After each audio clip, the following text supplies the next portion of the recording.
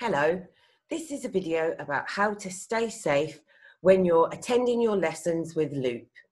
We'd ask that everybody read or listen to this video before they take part in any lesson. And of course, we want you guys to have as much fun as possible. Number one, please make sure the space that you're using is appropriate. Watch out for things that you could trip or fall over and please put them away safely. If you've got any pets, please make sure that they're in a safe place too. Make sure that the clothes that you wear are comfortable and light as you might be doing some physical exercise.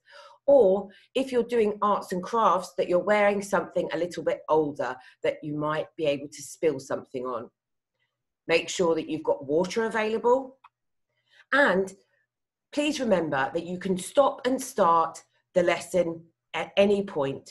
If you feel tired please take a break and only do what you feel comfortable doing.